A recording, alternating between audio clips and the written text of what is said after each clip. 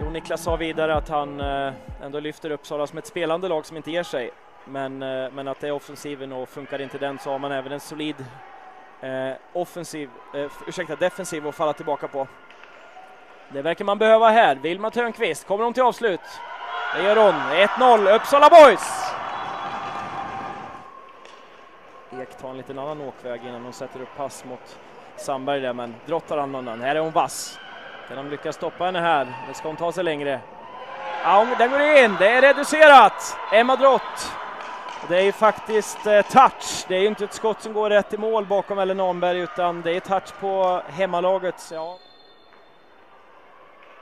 På Volmersson. Det är gästerna som tar ledningen med 1-2 genom Klara Volmersson. Här då, Törnqvist. Mål! 2-2. Det är Vilma Törnqvist än en gång. får man också passa sig. Ja, det är Skirö som tar ledningen i matchen och ni ser eh, lättnaden och glädjen hos gästerna.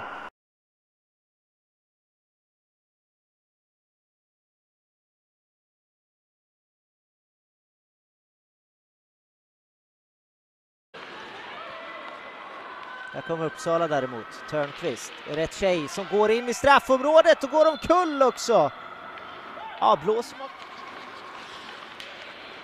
Och nu är det full fart här på Axevid, ytterhalven. Ja, hon kommer långt, får ordentligt tag och den där straffen går inte att diskutera bort.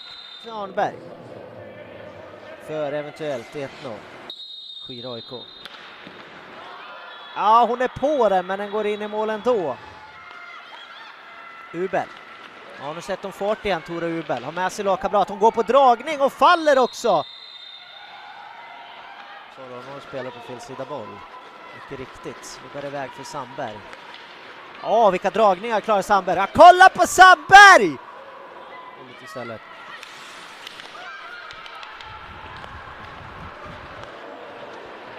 Oh, det är vackert spelat och ja, där har vi Törnqvist. Törnqvist skjuter. Oj! Långt lyft då. Ja, den går fram den där, den går fram till Snäll, in först. Nej, Blikander sparkar undan bollen. Nu har vi Frick. Och Törnqvist. Och Törnqvist. Och Törnqvist. Åh, vilken passning in! Åh, vilken räddning av Blikander! Där. Ubel. Vem annars? Tore Ubel släpper ut den, det är väldigt fint spelat och här kommer and it